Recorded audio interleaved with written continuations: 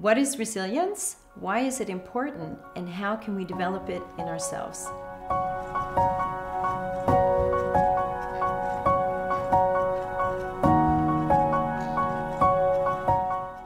Hi, I'm Dr. Lisa Green, PhD psychologist and family therapist at the Clinic Buchinger Wilhelmi in Überlingen, Germany. In this video, we will talk about how you can improve your resilience in order to better cope with life's challenges. So, what do we mean by resilience? Resilience refers to how well you deal with and bounce back from difficulties in life. It can mean the difference between handling pressure and losing your cool, or even getting sick. Now, while research has shown that some people are naturally resilient, attitudes and behaviors that foster coping can be and are learned throughout our lives. Resilience is like a muscle, it needs training to be strong. So, to, it's not about avoiding stress, it's about learning to cope effectively. When you're going through a rough patch, you'll be experiencing a degree of stress. Now, while stress is a normal part of life, too much of it can be harmful for our minds and our bodies. In my experience, the most essential ingredient for enhancing resilience is therefore to nurture yourself physically, emotionally, socially. Nurturing yourself helps strengthen the mind and body so you have the resources available to you that you need to handle the situation you're currently trying to cope with.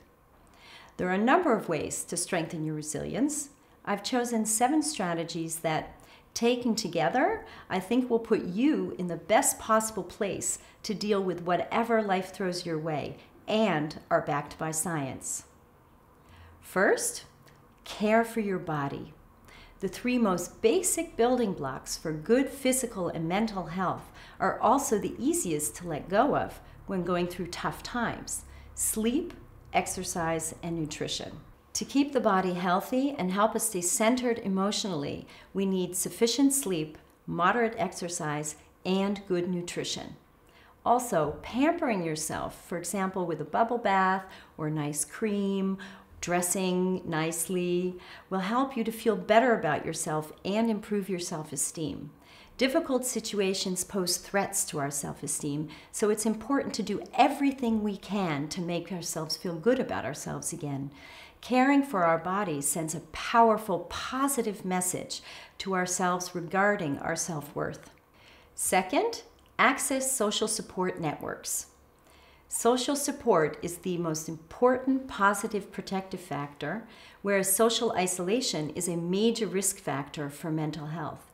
Seek out those friends, family members, and colleagues with whom you have nurturing relationships that is, people you feel safe with, who accept you and won't judge you. Remember, nobody can read your mind, so don't forget to tell them what your needs are and how they can help you. Otherwise, you might be being offered help in ways that you don't find helpful.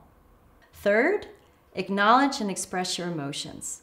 A major risk factor for developing psychopathology is by not acknowledging your thoughts and your feelings.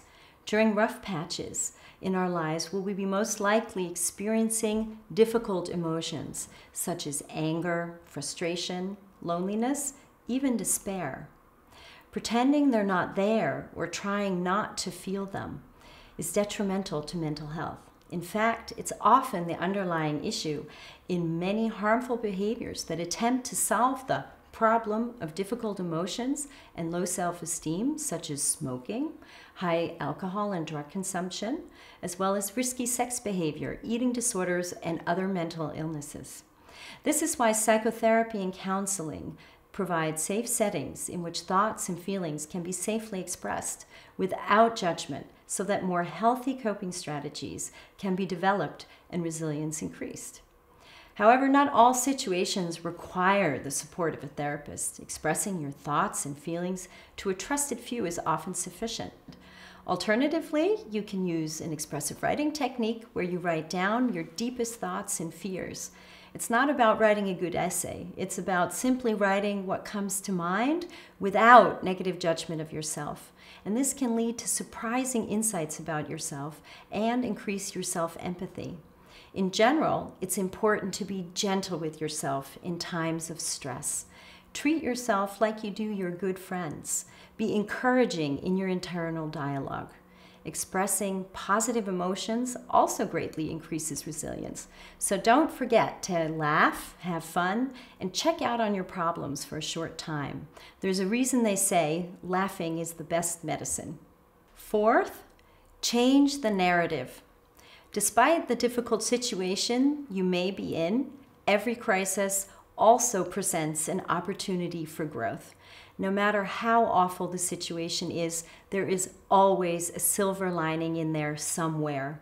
What little piece of good has come about because of this situation, because you've gone through it, that you truly value? Also, write these things down and keep the list at hand so you can remind yourself that there are still things to be grateful for despite whatever else is going on in your life.